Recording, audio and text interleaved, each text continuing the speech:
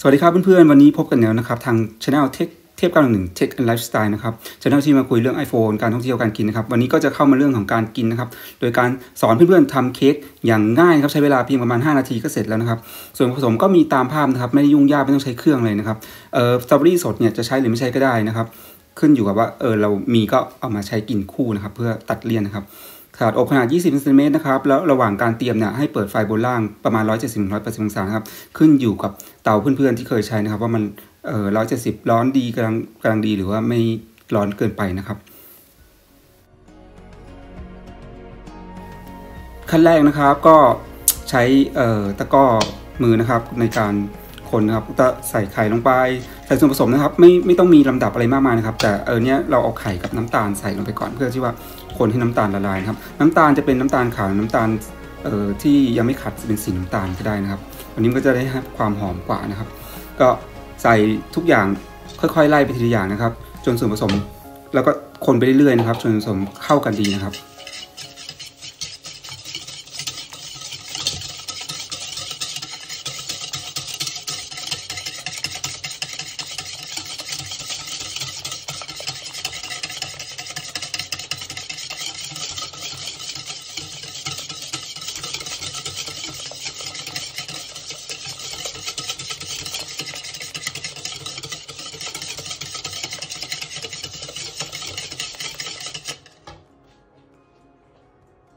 มื่อน้ำตาลกับไข่เข้ากันดีนะครับ ก็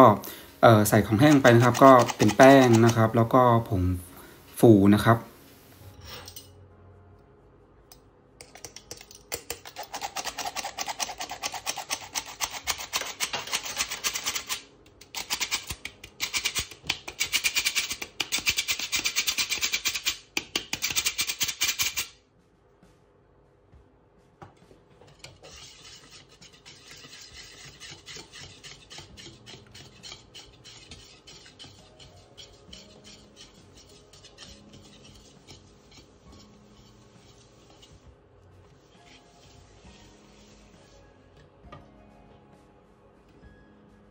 อย่างที่บอกนะครับ สูตรนี้ไม่จำเป็นต้องคำนึงเอ่อลำดับก่อนหลังเลยนะครับ อย่างพอเราคนไปเอ้ยมันแห้งไปนะครับ เราก็ผมก็เอานมใส่แล้วก็เอาน้ำมันใส่นะครับ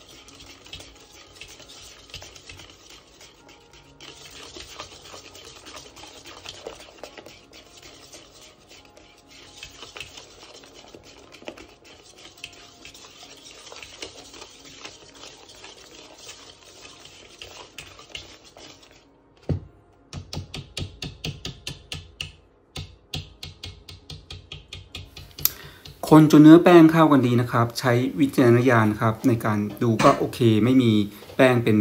ก้อนเป็นผงเป็นเม็ดอะไรอยู่แล้วนะครับ หลังจากนั้นก็เตรียมเทใส่ฟอร์มอบนะครับ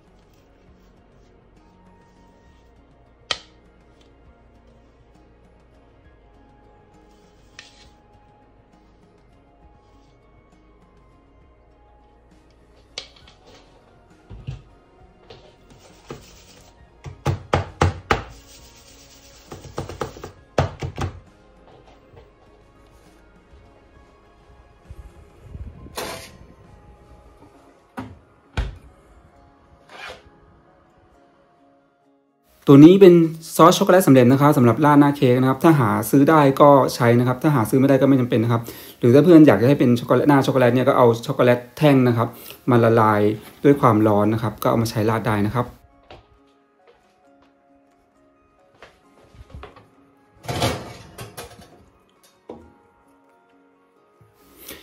ตัวนี้นะครับเราเอาไม้เสียบลูกชิ้นนะครับ มาลองจิ้มดูนะครับ ถ้าไม่ติดปลายไม้แสดงว่า เเค้กใช้ได้แล้วนะครับ ใช้เวลาอบทั้งหมดเนี่ยประมาณ 30 นาทีนะครับ อย่างที่บอกไฟประมาณ 170 นะครับ องศานะครับ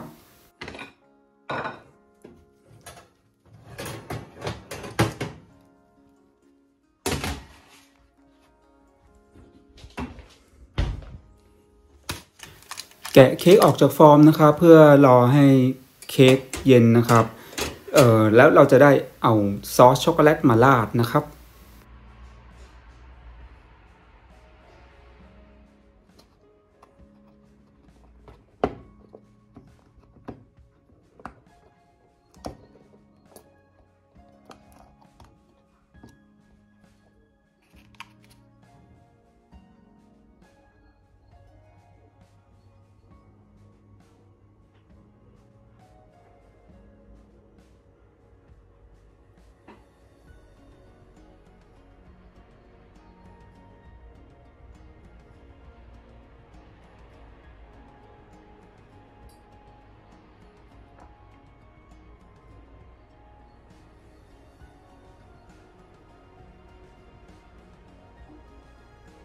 ราดซอสช็อกโกแลตนะครับ ตามความพอใจนะครับ เยอะน้อยเอาให้เต็มที่นะครับ แล้วก็นำสตรอเบอรี่ผ่าครึ่งนะครับ มาเรียงบนหน้าเค้กนะครับ อย่างในภาพนะครับ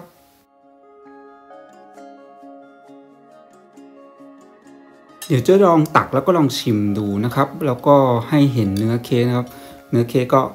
เออ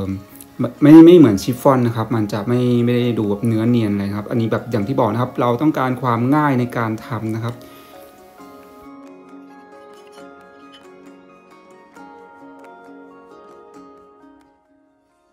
เนื้อเค้กมีความนุ่มนะครับ แต่ก็ไม่ได้นุ่มจนมากมายอะไร แต่ก็กำลังดีนะครับ ไม่หวานมากด้วยนะครับ ก็ขอบคุณเพื่อนนะครับ ที่ติดตามคลิปจนจบนะครับ อย่าลืมกดไลค์กดแชร์กดติดตามครับ เพื่อเป็นกำลังใจในการทำคลิปหน้าต่อไป สวัสดีครับ